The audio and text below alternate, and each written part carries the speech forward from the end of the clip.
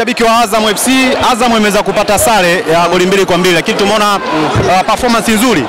Azam ilikuwa na rekodi mbaya sana, karibia michezo sita ameweza kufungwa na Simba ya nyuma. Leo performance ya, ya, ya Azam umeona vipi? Performance ni nzuri kiukweli, toka tumeanza ligi tumeanza vizuri, mm. lakini unajua katika mchezo wa mpira shanifahamu kunakuwa na mapungufu hapa na pale. Kwa hiyo kweli tulikuwa na mapungufu katika game kama 4 5 6 hivi zilizopita, tumepoteana, lakini tumepata mwalimu mwingine amekuja ametengeza timu, na nafikiri mnaanza kuiona wenyewe kwamba Azam narudi katika hali yake ambayo tumeanza nayo msimu huu kwa kweli. Mm. Yes. Leo uh, kiwango cha refari huwaga inakuwa kama lawama nyingi sana katika mechi kubwa kubwa. Refari leo vipi?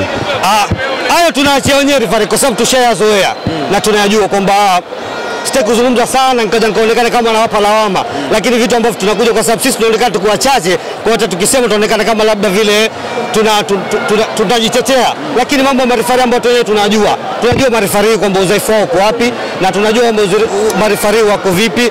Kwa hiyo usimlaumu sana, amechezesha amejitahidi kadiri ya uwezo wake. Matokeo umeyakubali? Matokeo nimeyakubali kwa mikono miwili, kwa sababu naamini vijana wangu wamepambana vya kutosha kuweza mm. kupata matokeo na tuna uwezo kushinda. Lakini performance ya mchezaji gani wa Azam leo ambayo imekukosha sana? Kwa kweli wachezaji wote nimpe pongezi labda kwa dhati goalkeeper wangu namba moja, kwa kweli ameonyesha uwezo mkubwa sana na naamini kwamba atauendelea kuonyesha uwezo mkubwa akiwa pale golini. Sasa hivi tatizo la kipa hamna tena. Tunashukuru kwa hilo, tunashukuru. Tatizo kwa upande wangu ninavyomwona leo na katika game za kirafiki nahisi tumeweza kusolve angalau asilimia 90 ya tatizo letu. Beki wenu beki wenu Yakubu Mohamed amekuwa kwenye mechi za Yanga na Simba, hachezi, majeruhi, mara na matatizo mbalimbali, naizungumziaje?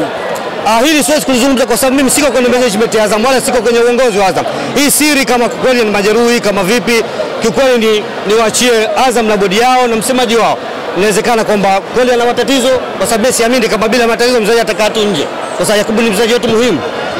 Siamini kama bila awe tu bila kuwa na sababu atakaa nje noted. Naamini kama kakaa nje, basi kutakuwa na tatizo ambalo la msingi lilomfanya yeye aendelee kukaa nje. Azam ulisema msimu huu mna jambo lenu, ile jambo bado lipo? Jambo bado lipo, ligi bado ni mapema mno, ligi ni mapema sana, na tuna imani kubwa sana na kikosi chetu